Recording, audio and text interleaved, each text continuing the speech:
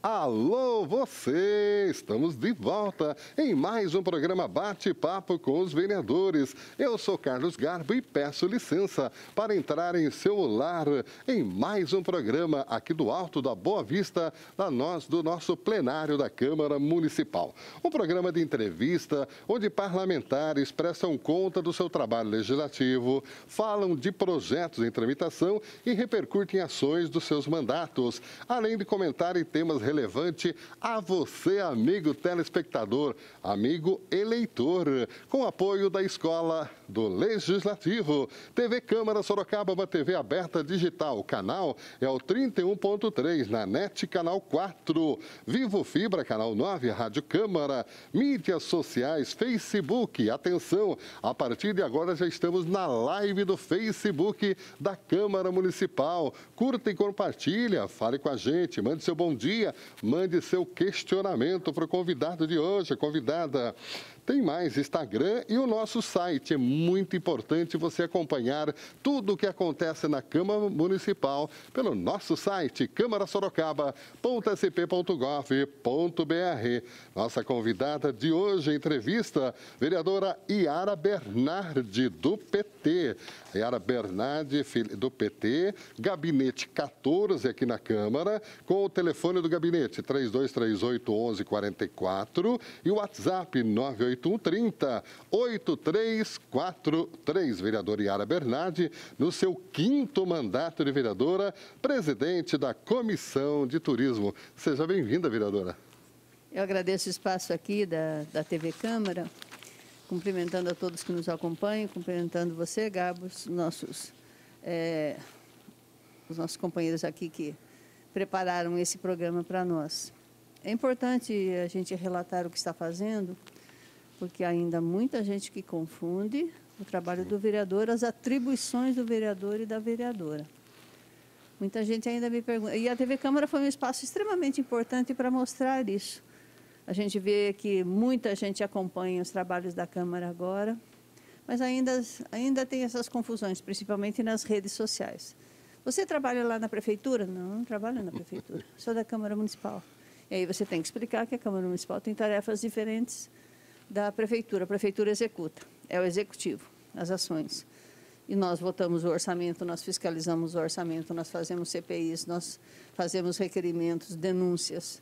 Essas são as tarefas dos vereadores. Os vereadores não fazem obra, eles reivindicam as obras, eles cobram as obras, eles denunciam, é, por exemplo, ações mal feitas, sim, fiscalizam, sim. CPIs. Então, essa é a tarefa da, da Câmara. Tão importante quanto, porque tem um que executa e o outro que fiscaliza. Então, tem que ter esses dois poderes trabalhando aí de forma minimamente harmônica. Tá certo, e nós estamos, é um prazer recebê-la aqui em nosso programa e até para levar tudo isso do mandato do senhor. O espaço é pouco, é uma hora de programa, que a gente sabe que tem muito assunto ainda para a gente é, comentar. E você que está em casa, participe conosco. Nós estamos na live do Facebook também. Eu estou com o Facebook aberto aqui. Vereadora, para a gente começar, vou passar um dado para a senhora que em 13 de março, Sorocaba registrava 115.705 casos de Covid-19. Aqui consta 112.346 recuperados, 3.105 óbitos, dado atualizado. A Prefeitura reforça eh, que precisa continuar o protocolo. Uma análise da senhora do atendimento à Covid em Sorocaba, em 32 UBS, tem a Sentinela, agora tem mega carretas fazendo a testagem. Como que a senhora avalia a Covid hoje em Sorocaba, vereadora?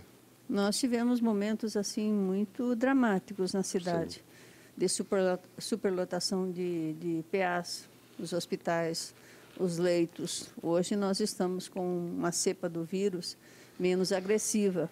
As pessoas hoje se contaminam, e é um número altíssimo que você colocou, mais de 100 mil aí. Pessoas Sim. que se contaminaram em Sorocaba, pense um pouco. É, mas hoje nós não temos tantas internações e mortes. Sim. Terríveis como nós tivemos em todo o Brasil. Acho que chega perto, vi no último levantamento, e não é levantamento do Ministério da Saúde, são dos meios de comunicação. Sim. Sim. Até nisso o Ministério da, é. da, Saúde falhou. Uhum. É, os meios de comunicação divulgam quase mais de 650 mil mortos por Covid no Brasil. É um fato terrível. E olha que aqui em São Paulo, onde começou de fato a vacinação em massa, uhum. é, nós tivemos é uma situação melhor que outras partes do Brasil.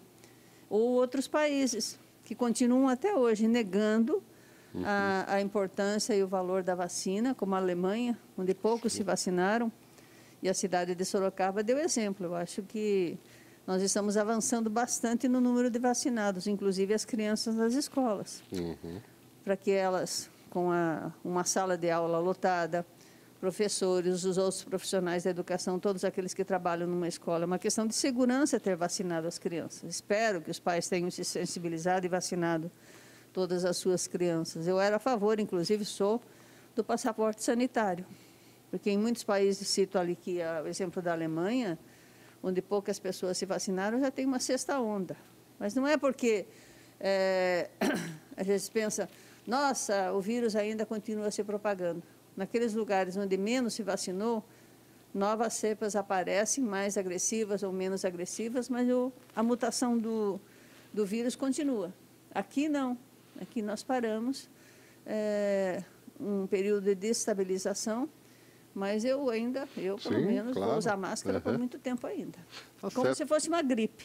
Uhum. O HN1, quando apareceu também, era extremamente agressivo é, prejudicial, as pessoas ficavam com muito medo, mas hoje ele é objeto de uma vacinação anual. Certo. De combate uhum. anual quando você toma a vacina da gripe, né? Também contra o vírus H1N1. Eu acho que é isso que vai acontecer com o vírus do, do Covid. É, mas ainda a pessoa com sintomas, né, vereador, é importante buscar, né? É o recurso que nós temos aí as OBS, nós temos as mega carretas, que é muito importante. E a máscara liberada também em áreas livres, qual a avaliação que a senhora faz disso, dessa em áreas liberação? Livres, tudo bem. Em lugares tá. fechados, eu ainda recomendo sim, sim. A, a, não aglomeração, é isso que os, que os pesquisadores, os uhum. médicos uhum. é, recomendam. Sim. Lugares fechados, ainda nós temos a propagação do vírus. Uhum. 400 e poucos casos em Sorocaba por é, semana. É não é pouca coisa. Os, a, a, os, sintomas hoje podem ser, podem ser menos agressivos, menos internações, mas ele está aí circulando e afeta diferentemente as pessoas. Você pode se contaminar, não ter problemas, eu posso ter sim, sim. mais graves, conforme uhum. é, o perfil da pessoa. Então, os cuidados é eu acho que devem continuar. Tá certo. Estamos conversando com a vereadora Yara Bernardi. Você, participe. Estamos na live aqui do Facebook também. Mande seu questionamento, mande seu bom dia. Vereador, estamos vivendo, mesmo diante a chuva que ocorreu esses dias, uma chuva forte, né?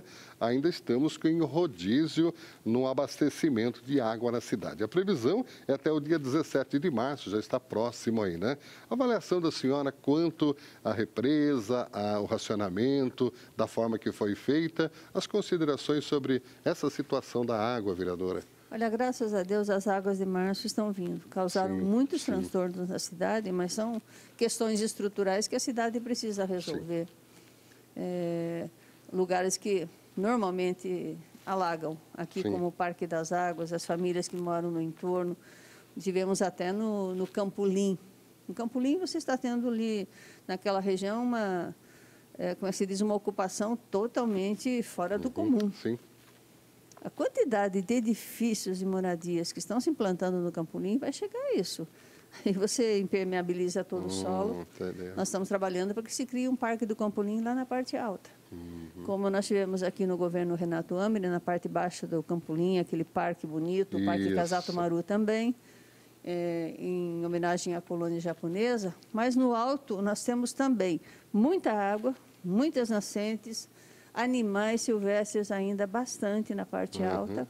Apresentamos um projeto de lei aqui, Garbo, quem nos acompanha aqui na TV Câmara, uhum. criando naquela parte alta. Mesmo que seja propriedade particular, são áreas que têm que ser preservadas. Sim. Na beira de nascentes e, e córregos lá em cima, que alimentam, inclusive, as águas aqui da parte baixa do Campolim, uhum. onde já temos os dois parques. É, o Parque Carlos Alberto de Souza e o Parque Casato Maru criando lá em cima, fizemos, apresentamos o projeto, já foi ao prefeito para análise, é, o Parque João de Camargo, hum. em homenagem ao, ao nosso tão querido João de Camargo, a nossa igreja que nós temos ali. Uhum. Criação desse parque. Então, esta, esta, nós falávamos da questão do racionamento. Sim. Estamos em níveis melhores da represa, mas coloco aqui, porque eu acompanho esse tema O meu trabalho de mestrado na, pela UFSCar foi nesta área da preservação da, da represa de Tupararanga e a área de proteção ambiental em volta dela, que deveria estar dando resultados. A nossa represa teve problemas seríssimos desde 2019. Se liberou mais água para geração de energia, as chuvas não corresponderam não. e a represa Sim. baixou demais. Então, não, não seria surpresa para Sorocaba e região esta questão, porque a represa não é nossa.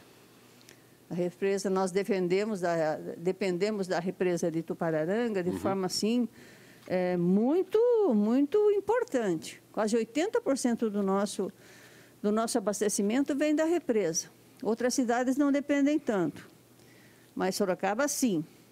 E o Comitê de Bacias, Comitê Sim. de Bacias Sorocaba e Médio Tietê, que estuda toda essa conformação do, do Rio Sorocaba e do Rio Tietê, é, já alertava há dois anos, há dois anos que nós estávamos em déficit hídrico. Uhum. O plano diretor de águas de 2016 de Sorocaba já dizia que em 2016 que nós tínhamos poucas, pouca água.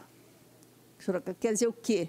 Sorocaba está utilizando mais do que ela pode. Uhum. Nós não podemos. Ah, é, usar mais água do que está determinado, que chama outorga. Vocês podem retirar ah, tanto de água. Tanto. Agora, Sorocaba, eu usei, usei, o exemplo da expansão imobiliária no Campolim, hum. ali teve enchente. Está se impermeabilizando demais o solo de Sorocaba. Falo do Campolim, falo do Parque Vitória Régia. Falo aqui do, do Parque das Águas, toda essa região da Baeté aqui, uhum. que sofreu problemas seríssimos. Essa questão tem que ser tratada de forma mais efetiva pela Prefeitura de Sorocaba. Quando temos menos chuvas, passamos aí racionamento. Sim. E o Comitê de Bacia já fazia esse alerta há dois anos que nós teríamos problema de falta d'água neste período. Uhum. E a Prefeitura demorou tempo demais para tomar uma atitude.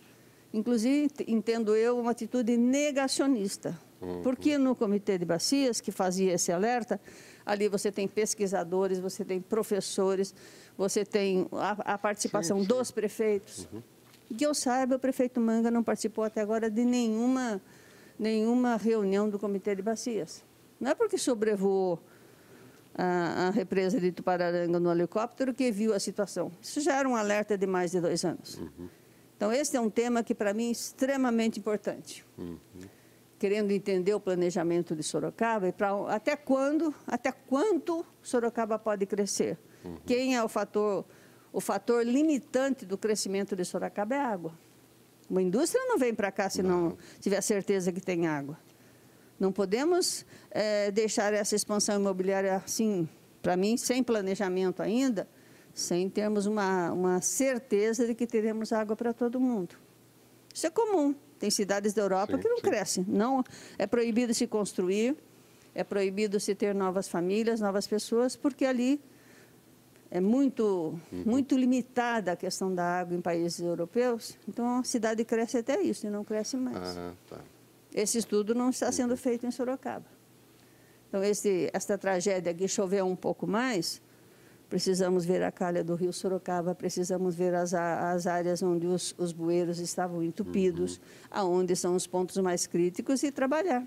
E ter ações práticas, tanto para se prever a, a questão do racionamento, uhum. quando chover menos, e, também que medidas teremos quando plano... chover mais, como uhum. foi agora.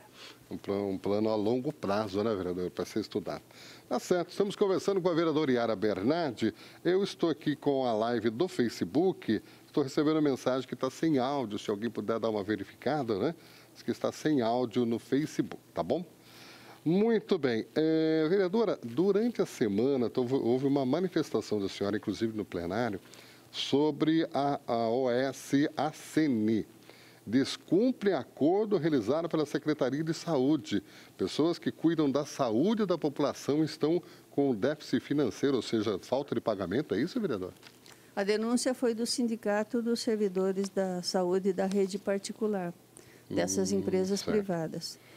Nós temos aí uma leva de, de empresas que vêm para Sorocaba, entram nas licitações hum. para dirigir os PAs. E o antigo secretário de, de Saúde, que saiu, doutor Vinícius, ele dizia que ia privatizar, inclusive, todas as unidades básicas de saúde. Eu acho isso uma temeridade. porque essas empresas que vêm para cá, as mais variadas que vieram para dirigir os PAs, o PA de São Guilherme, da Zona Oeste, o que se salva é o da Zona Leste. Cuidado pela Santa Casa que a gente não tem reclamações. Extremamente bem cuidado, eficiente, com maior carinho com os pacientes. Nos outros, são empresas que passam por aqui.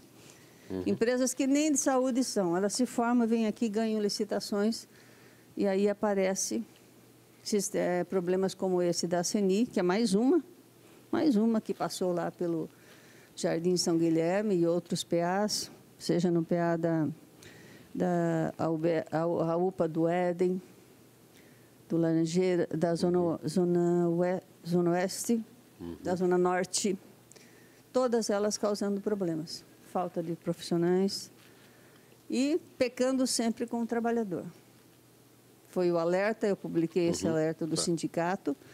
Isso se torna, se torna cada vez mais comum. Eu não sei por que empresas de saúde daqui de Sorocaba não aceitam fazer esse trabalho. Aí vem essas empresas, e muitas delas eu classifico como picaretas de verdade, e, e que falham sempre com o trabalhador, esse que está lá na linha de frente se sacrificando. Essa é a denúncia que o sindicato fez e espero Sim. que a prefeitura, que não tem secretário de saúde ainda, né? Uhum. não foi reposto Secretaria de Saúde, Sim. anunciado o novo secretário ou secretária, que tome providências imediatas, porque os trabalhadores estão na linha de frente. Tá certo. A senhora também questionou sobre vigia nas escolas, problemas com salário e condições de trabalhos precários. Cai nessa mesma situação de terceirizados, vereadora? Cai nessa mesma situação. Essas empresas que vêm de fora nem sempre respeitam os direitos trabalhistas. Uhum. E a Prefeitura Municipal, acho que nem todo mundo sabe disso, para cada contrato terceirizado, ela tem uma, um fiscal. Uhum. E eu cobro muitas vezes, onde está o fiscal desse, dessas empresas que vieram para cá? Uhum. Muitas delas não dão treinamento nenhum para as pessoas que contratam, isso eu fiquei sabendo, no caso são Sim. vigias. São uhum. profissionais importantíssimos que vieram aí para consertar uma situação dramática que eram as invasões, escolas invadidas 30, Sim. 40 vezes, onde se levava tudo, se depredava Sim. materiais, merenda, fios, principalmente fiação elétrica. Esses, esses servidores, agentes aí de fiscalização, não, agentes de segurança nas escolas, são extremamente uhum. importantes. Sim. Mas também os direitos trabalhistas. Ah, para um não deposita o fundo de garantia, para outro atrasa o salário, para outro não paga o vale transporte. Onde está o fiscal da prefeitura desse contrato que não cobra dessas empresas? Ela ganhou uma licitação que cumpra o que se propôs, porque esses vigias nas escolas são extremamente importantes. E não são nem em todas as escolas ainda. É. O prefeito Manga contratou só para uma parcela. Mas está havendo problemas trabalhistas também. Os fiscais, de, fiscais desses contratos têm que agir e fazer essas empresas cumprirem o que elas se propuserem, porque esses vigias são extremamente importantes nas escolas. Tá certo. Estamos conversando com a vereadora Yara Bernardi, agora já recuperou o som. Estamos na live do Facebook. Participe você, faça sua pergunta, seu questionamento, seu bom dia. Vem participar com a gente. Nosso programa Bate-Papo com os Vereadores.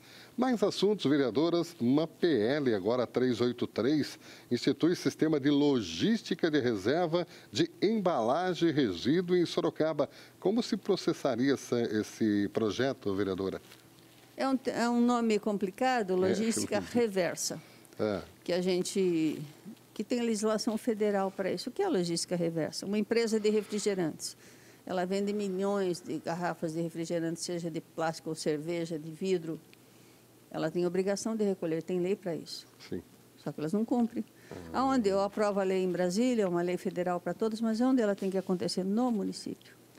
Então, essas empresas que eu coloco aqui, o recolhimento é. do lixo em Sorocaba, a gente fala lixo, mas são materiais que poderiam muito bem estar sendo aproveitados. Materiais reciclados, diminuindo aquilo que a gente enterra. Uhum. E é uma conta altíssima na prefeitura. E a gente costuma dizer, é, a prefeitura, o orçamento da prefeitura tem que pagar por uma coisa que ele, a cidade tem que pagar por uma coisa que ela não produziu. Tá bom, você comprou a cerveja, você hum. comprou um móvel, um móvel aí numa loja de departamento para sua sala, você comprou um guarda-roupa, um sofá, qualquer coisa que você compra. Você comprou um aparelho eletrônico, vem embalado com uma, uma quantidade Sim. imensa de papelão e de como é que plástico, chama? né? Que é revestido plástico, lá dentro. Né? isopor. Isopores também, é, perfeito. A legislação federal que fala que tem que haver uma cadeia para você recolher isso, uma cadeia, um sistema ah. para você recolher. Aquele que produziu junto com aquele comerciante que está vendendo. Nós apresentamos uma proposta aqui na Câmara, que foi para a Prefeitura analisar, porque a Prefeitura está fazendo um chamamento agora para nova, uma nova licitação para o recolhimento desses resíduos na cidade, que é extremamente hum. importante para a saúde pública. Sim. Mas gastamos um dinheiro imenso para enterrar, enterrar material que deveria estar sendo recolhido pelas empresas. Até um vereador levantou aqui, mas o comerciante vai ser responsabilizado? Ah, cito aí, Casa Bahia, vendeu um móvel. Uhum. E são móveis simples, inclusive, que duram pouco. Aí a pessoa vai, vai faz o que com ele depois que ele troca? joga. Isso é comum nas estradas aí mais afastadas da cidade, móvel ah, jogado para todo lado. É. Tem obrigação do daquele que produziu o móvel com o comerciante, com a prefeitura municipal, fazer com que haja um sistema de recolhimento. Hum. Em outros países isso é extremamente comum. Você vai lá e leva suas garrafas no supermercado, o uhum. supermercado recolhe para a empresa que produziu e o cidadão que leva lá ganha alguns dólares para consumir no supermercado. Essa é uma rede. Entendi. Que tem que ser montada aqui para tudo, seja para aparelhos eletrônicos, para móveis, é, para garrafas de refrigerantes. Uhum. E essa legislação federal só pode ser cumprida aqui no município onde o, onde o consumidor está consumindo, eu, você, quem nos assiste. Não só incentivar cooperativas, hum. cooperativas de trabalhadores que reciclam é, os materiais que podem ser reciclados, gera emprego. Hoje você vê muita gente aqui, a cidade vê isso é, retornando, isso é muito triste. É, gente hum. carregando carrinhos, puxando Sim, carrinhos durante né? a noite. É. A falta de emprego, estão conseguindo algum, algum recurso para colocar comida dentro de casa, crianças, uhum. idosos, arrastando o carrinho quando nós poderíamos ter um sistema aplicando as leis federais de recolhimento desses materiais com cooperativas, incentivar novas cooperativas sim, na sim. cidade. Essa é a política reversa. Quem produziu, ajude a recolher. Tá o certo. planeta pede isso. Sim, é um tema mundial hoje.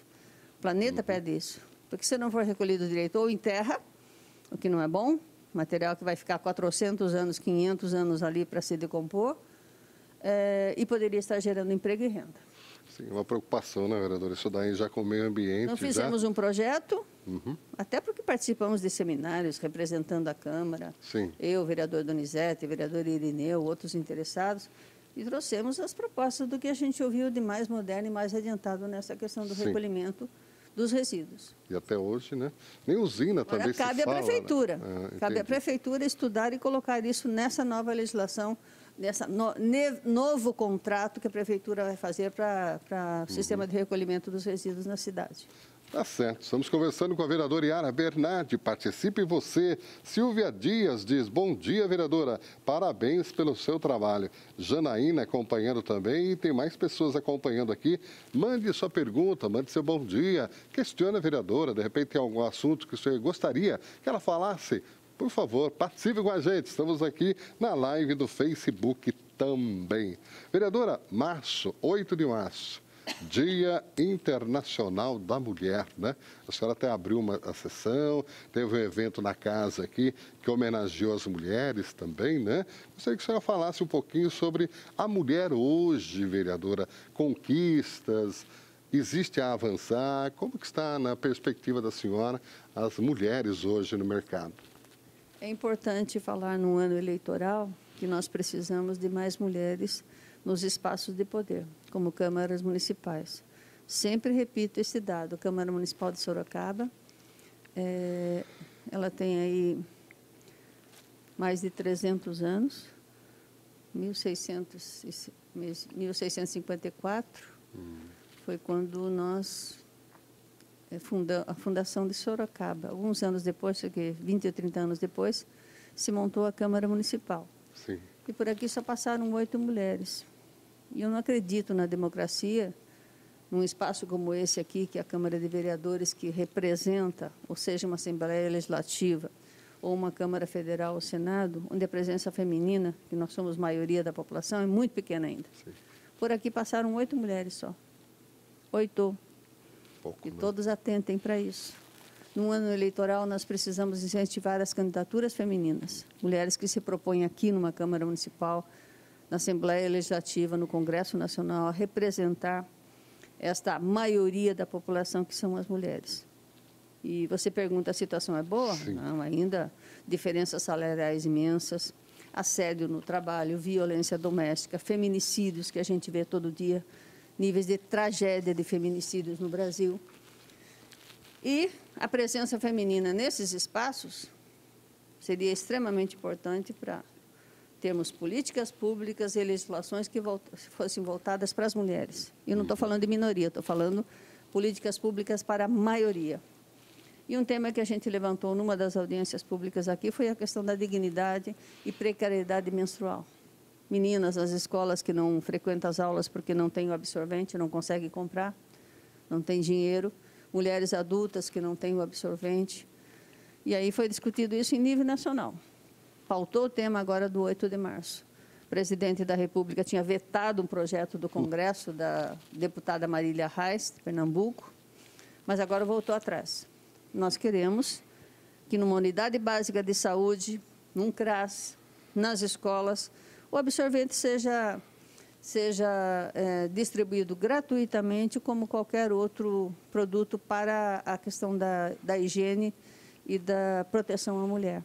Se tem camisinha no posto de saúde distribuído gratuitamente, fralda geriátrica, remédios, absorvente. É, o absorvente também tem que ser um produto comum.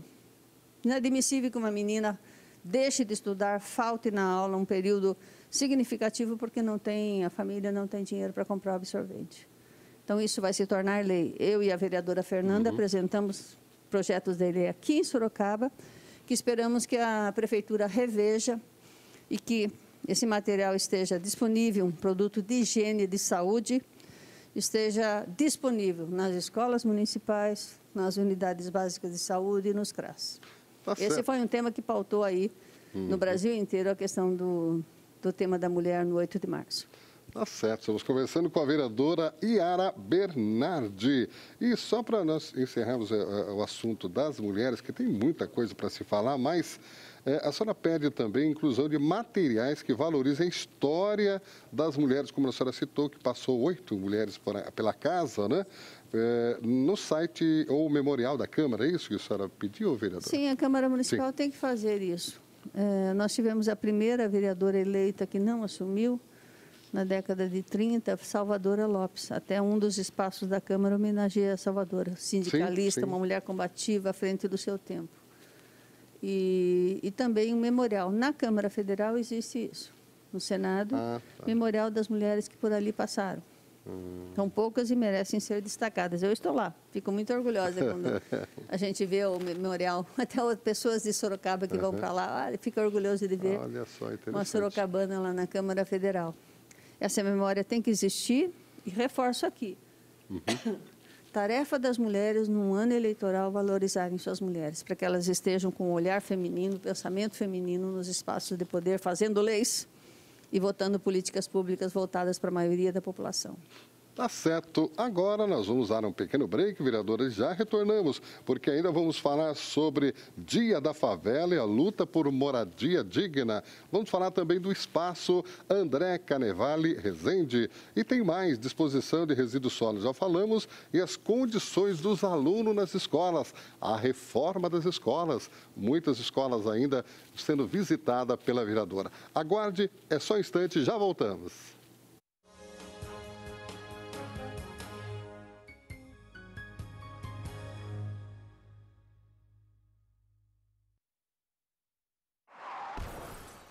Cada mil atropelamentos, apenas nove saem ilesos.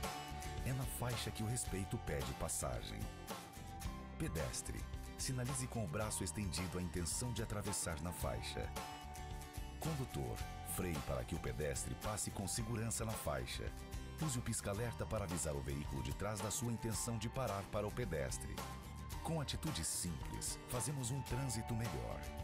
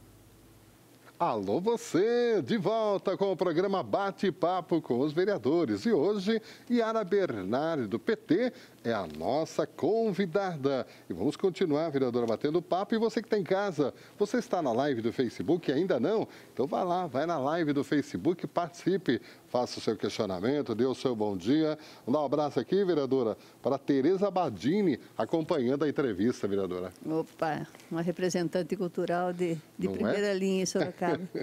Espero que ela venha outras vezes aqui na Câmara Municipal, muitas vezes quando nós fazemos atividades aqui, uhum. a Tereza vem cantar conosco. Sim. E, e encanta pela cidade toda. Espero que ela venha em outras, em outras ocasiões aqui conosco também. Tá certo, Tereza, um grande abraço a você, viu? É, vereadora PL 412, ela cria no âmbito do município o Dia da Favela e o Dia da Luta por Moradia Digna, hein, vereadora? Uma lei da Olha, senhora, eu sou hein? da Comissão também de Desenvolvimento Urbano e Habitação nesta casa. É um tema que certo. eu sempre gostei, uhum. sempre gostei. Atuei como deputada federal muito nesse, nesse programa Minha Casa Minha Vida, que levou aí um, um teto e uma dignidade para milhões de brasileiros. Sim, sim. É, na cidade de Sorocaba, parece que a maioria da população não atenta para isso. Nós temos 38 favelas ainda. Poxa. E isso aumentou muito o número de pessoas é, em situação de risco, habitação ruim, falta de, de água, um, uma, uma moradia digna. 38 favelas. E a crítica mais séria que eu faço aqui é que os programas habitacionais agora apresentados pelo prefeito Manga não atendem esse perfil da população, absolutamente, nenhum programa para eles. Nós vamos ter uma atividade aí de construção de, no SIC, que o prefeito abriu, milhares de pessoas vão lá, mas não seriam não tem nem 60 moradias que seriam para famílias com renda baixa ou acima de 3 a 10 salários mínimos, que é essa faixa que a prefeitura está priorizando, e não as favelas. O Dia da Favela é um dia que se, se coloca em todo o Brasil o olhar sobre esta população mais carente, sem, sem a infraestrutura básica mínima, dignidade de, da moradia. E a crítica que eu faço aqui em Sorocaba é que nenhum programa ainda foi apresentado para essas famílias. Falando aqui, seriamente, 38 favelas, tem 30, 40 mil pessoas em situação de, de vulnerabilidade na cidade. Famílias, Sim. famílias e pessoas que não tem nenhum projeto habitacional é, atendido. E aquilo que o prefeito priorizou, construção de edifícios em áreas públicas, hum são para famílias aí uma parceria com a iniciativa privada, quando o mercado, o mercado imobiliário em Sorocaba já atende essas famílias.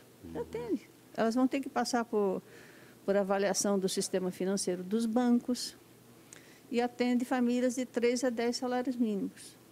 O Casa Verde Amarela, que o presidente Bolsonaro substituiu aquilo que era a, o, o, a, a nossa, o programa habitacional que nós falávamos aqui, Minha Casa Minha Vida, não atende mais as famílias que têm menos que abaixo de três salários mínimos. Não tem programa habitacional mais para essas famílias.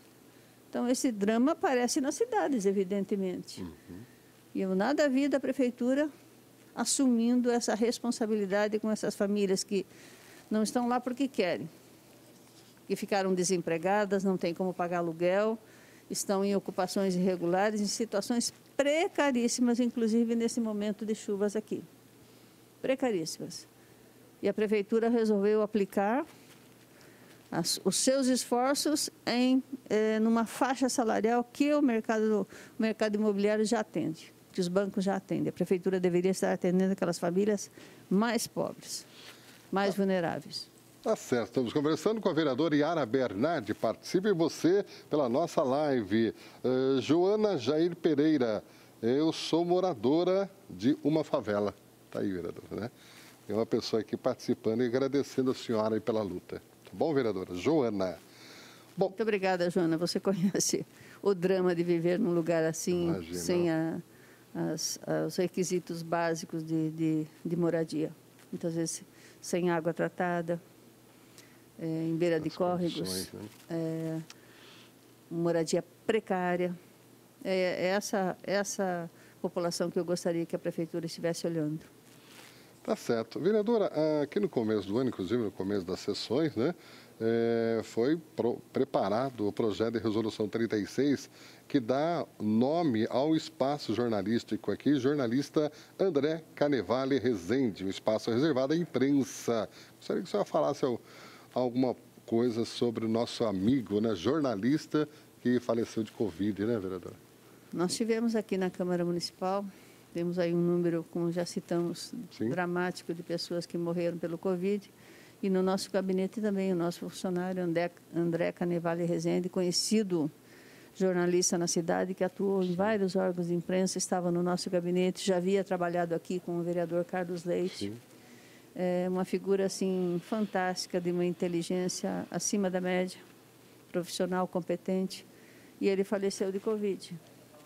Ele estava tratando de outros problemas de saúde e se contaminou durante esse tratamento. E, e nós pedimos aqui na Câmara Municipal que a Câmara, é, que teve três surtos, né? A Câmara fechou um sim, período sim, significativo perfeito. três vezes porque tinha um surto de contaminados de Covid aqui na Câmara. E pedimos uma homenagem a esse nosso jornalista reconhecido aqui por todo mundo, que é o espaço da imprensa aqui, com o nome do jornalista André Canevale Rezende. Muito tá merecida a homenagem. Tá certo. Informações, vereadora Só pede também sobre cargos vagos de profissionais de educação e a previsão dos chamamentos. Se não me engano, está acontecendo o chamamento, vereadora, é isso?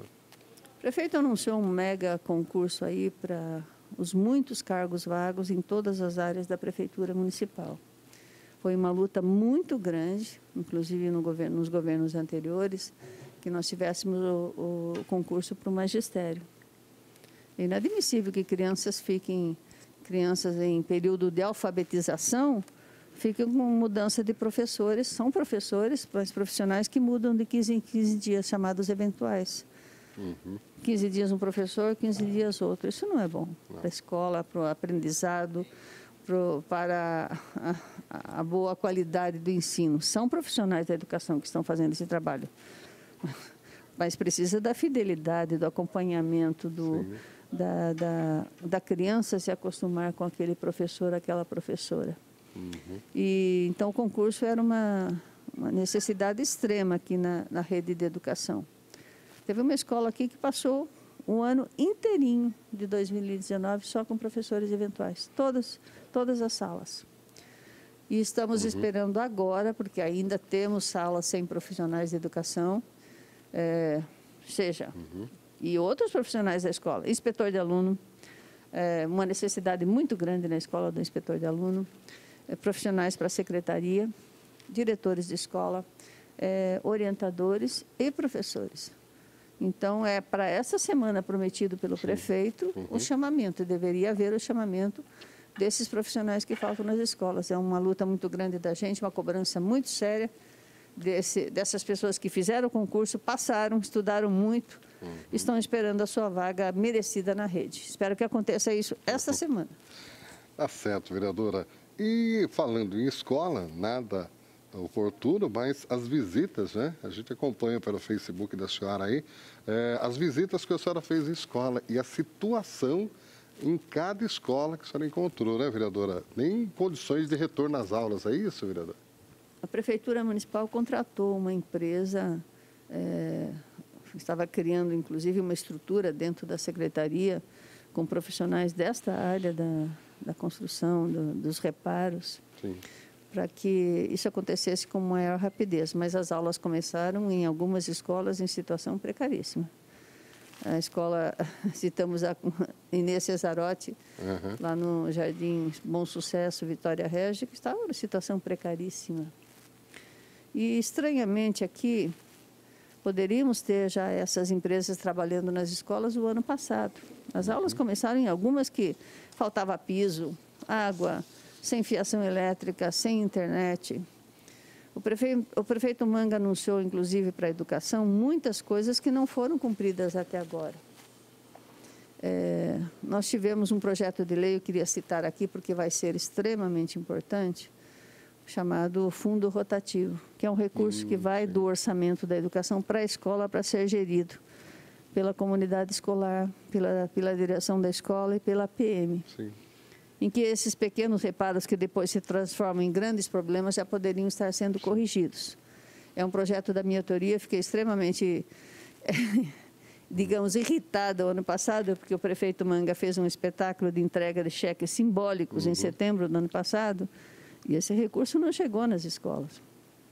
Não chegou. Não receberam ainda. A comunidade fica cobrando uhum. do diretor. É, Cadê tinha, tinha escola que ia receber? Até eu ajudei é eu... no dia da, da solenidade a entregar esses cheques simbólicos para diretores uhum. de escola. Olha, 300 mil reais, 150. É, dinheiro? Tanto para cada. E o, o, recurso não chegou no orçamento do ano passado. Aí a comunidade cobra do diretor: cadê o dinheiro?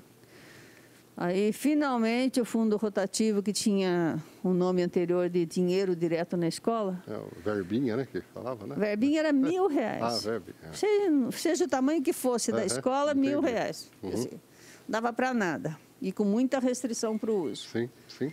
Agora, são recursos baseados no tamanho da escola ou no número de alunos. Hum. Tem que ser gerido pela APM.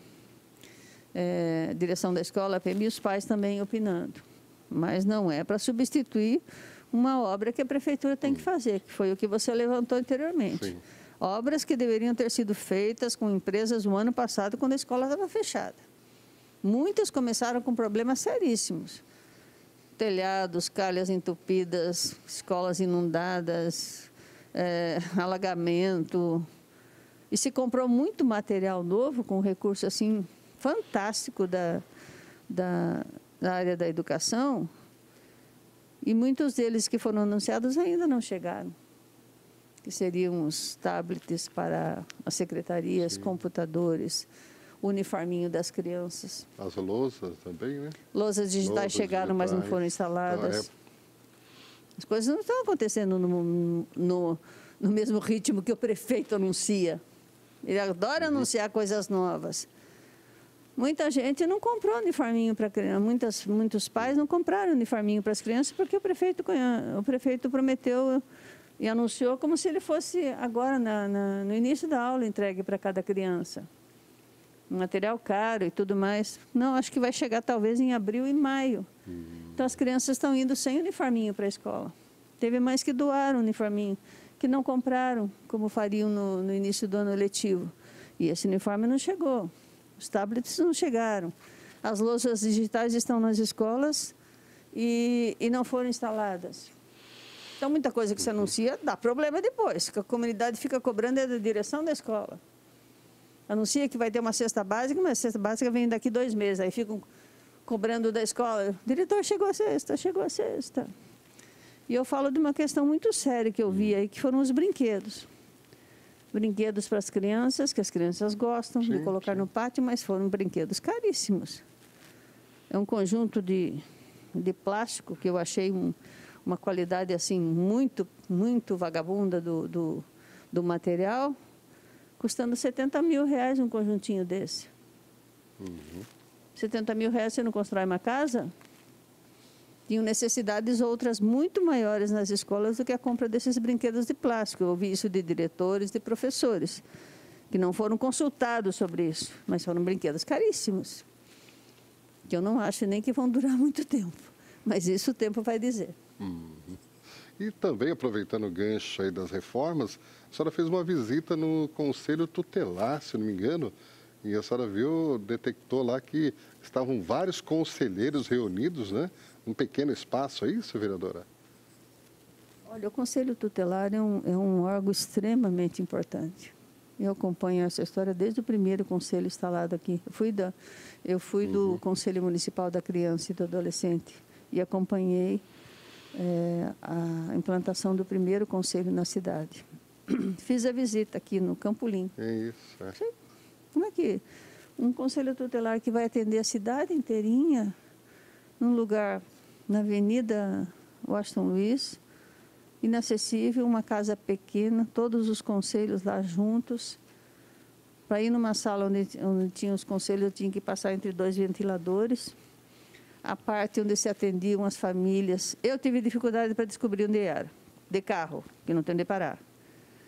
É, é uma casa aqui no nível da Avenida Washington Luiz, na parte de baixo, como se fosse um porão, onde são atendidas as famílias que vão para lá.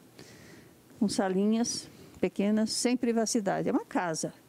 Uma casa que foi adaptada para todos os conselhos. Não, não dá, não dá. Um deles eu sei que está saindo de lá. E espero que o Ministério Público atente para isso. Eles precisam de mais profissionais. Muitos saíram e se aposentaram se aposentaram não saíram, uhum. faltando vagas, falta estrutura, carro, é, formação. E eu considero esse órgão assim de uma importância extrema para o atendimento das crianças em estado de vulnerabilidade e violência e tudo mais que, que a gente vê acontecer. Fazendo, fizemos o questionamento à prefeitura uhum. e vamos levar isso ao MP, ao Ministério Público, que cuida desta área, a doutora Cristina Palma, para que veja essa situação. O conselho precisa de estrutura para trabalhar, formação para os profissionais, completar os cargos que estão faltando. Considero esse conselho essencial para, para as crianças Obrigado. que precisam desse atendimento quando acontecem tragédias com relação a elas. Tá. Estamos conversando com a vereadora Yara Bernardi. O programa Bate-Papo com os Vereadores. Participe pela nossa live também. Dá tempo, viu? De você participar também. A Joana Jair, já falei dela. A Fabi Silva também acompanhando o programa e outras pessoas também. Pode dar seu bom dia e comentar ou, ou questionar a respeito aí do trabalho, da atividade da vereadora. De repente até sugerir né? Porque a vereadora também né, é da nossa cidade de Sorocaba e pode atender aí, ajudar você nas demandas que você é, pode apresentar. Vereadora, é, é, houve uma audiência pública, se não me falha a memória, com o, o secretário Vinícius, né? E a senhora questionou sobre as gestantes, atendimento para Natal da gestante no município e também dos bebês e a necessidade de se ampliar a rede básica de saúde na construção de novas UBS com tratação de agentes da saúde. É isso, vereadora? Olha, eu acho que o tema mais dramático da administração do prefeito Manga hoje, eu calculo que, eu calculo não, eu afirmo que é a questão da saúde. Não temos mais nenhuma notícia do mutirão. É, eu, não sou, eu não concordo, inclusive, com o mutirão. Tá bom, vai ter que apressar por tudo aquilo que não foi feito no, uhum. no período de Covid. Mas no plano plurianual, que é o planejamento que o prefeito faz, o uhum. prefeito, quando assume, faz para os. Ele trabalha no primeiro ano com o orçamento que foi deixado pelo prefeito anterior. Sim. Que a Câmara votou. Os três, e os quatro anos seguintes. Ali não se planejou construir mais nenhuma unidade básica de saúde na cidade é na unidade básica de saúde que os tratamentos acontecem, que os médicos deveriam estar, que as mulheres poderiam estar é, se consultando ela, suas crianças e sua família, porque a mulher, na maioria das vezes, que faz esse, esse apanhado na, na família de quem deve ir na unidade básica de saúde. É ali que se fazem os tratamentos continuados de hipertensão, diabetes, sim, sim. idosos, obesidade e outras doenças que são recorrentes nas, nas famílias. E nenhuma unidade básica nova. É, se criou na cidade a cultura do PA pronto atendimento. As pessoas vão lá, passam por um médico rapidamente, mas não fazem o acompanhamento dos seus, das suas doenças, dos seus problemas. E no caso das crianças que você citou, um atendimento que eu acho assim essencial é o pré-natal. As mães precisam do ginecologista, precisam da enfermeira, precisam. E quando eu falo de um centro de saúde equipado, não é só o médico, não. Tem que ter todos os outros profissionais de enfermagem para fazerem o um acompanhamento e o pré-natal é extremamente importante. E nós notamos nos números que o secretário apresentou aqui, hum. falando dos gastos da saúde do último quadrimestre e, e da, do que foi atendido, os dados todos do atendimento, nós temos muito mais crianças atendidas, é, é, como é que se diz? Uh, partos com, com crianças com problemas do que crianças com nascimento normal. Foi assim, um número assim assustador. O que, que aconteceu com essa gestante? Para que a criança nascesse em eh, os dados de criança nascendo com como sendo bebê de risco muito maior que os, os partos normais. Uhum. Porque o pré-natal não foi feito. Ela já chegou para o parto nos hospitais de Sorocaba, Santa Lucinda e, e Santa Casa com problemas não teve acompanhamento, não fez ultrassom, o, o número de consultas que devia do, do pré-natal. Isso já vem acontecendo, contaminadas com, com sífilis e outras doenças que não foram detectadas no pré-natal. Uhum. Isso pode trazer problemas de malformação para a criança, aborto e a criança nascendo com parto de risco. Aumenta muito mais a possibilidade de ela ter outras doenças e até falecer nos primeiros anos de vida. Por isso que a unidade básica de saúde com os profissionais é extremamente importante para a mãe, para a gestante e para todos da família que precisam da unidade básica de saúde. E repito aqui, se criou a cultura do PA, transformar é, unidades básicas de saúde em PA. Nós precisamos muito mais do atendimento básico para que a família não precise depois do hospital. Tá certo. Estamos conversando com a vereadora Yara Bernardi.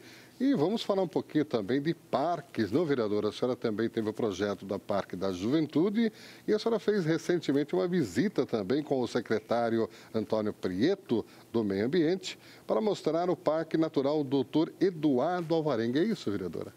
Teve a visita? Não, esse, esse eu acho que é de outro vereador desta uhum. casa. Ah, sim, você sim. tem razão, desculpe.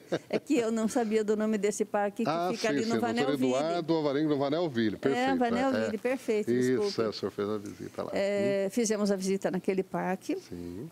que ele precisa ser um parque. Muitas vezes você diz que aquilo é um parque, mas não é feita a limpeza, não tem como a população frequentar. Fica ao lado de uma escola municipal sim. muito grande ali no Vanelville.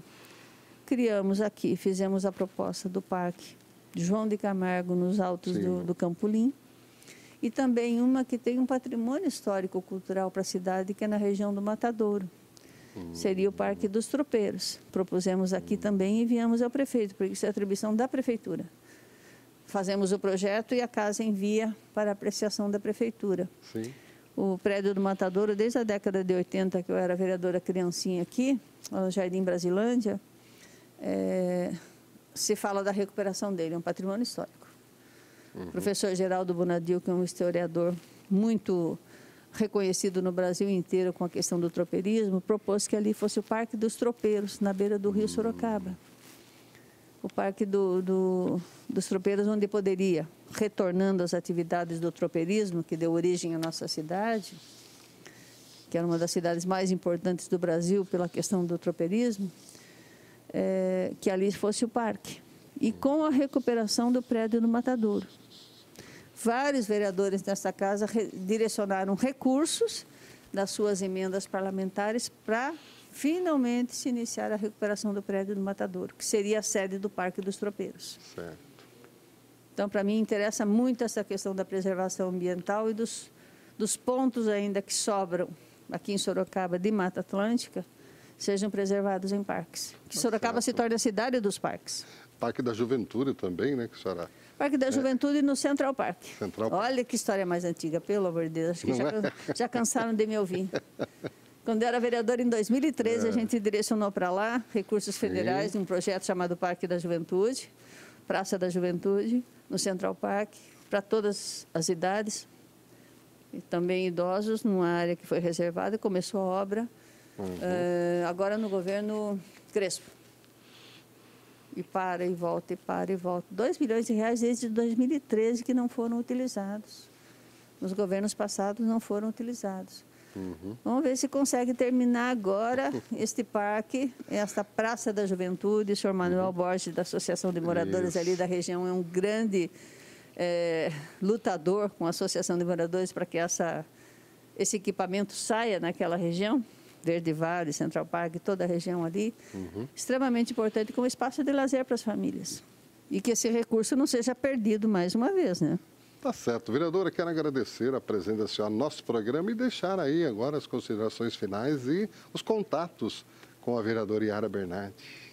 Olha, nós estamos é, uhum. nas mais variadas redes sociais, certo. Instagram, Facebook, aqui na Câmara Municipal. Deixo o telefone do gabinete para que as pessoas possam apresentar as demandas. É o 3238 1144, como você já Sim. anunciou, gabinete 14 aqui da Câmara. 3238 1144.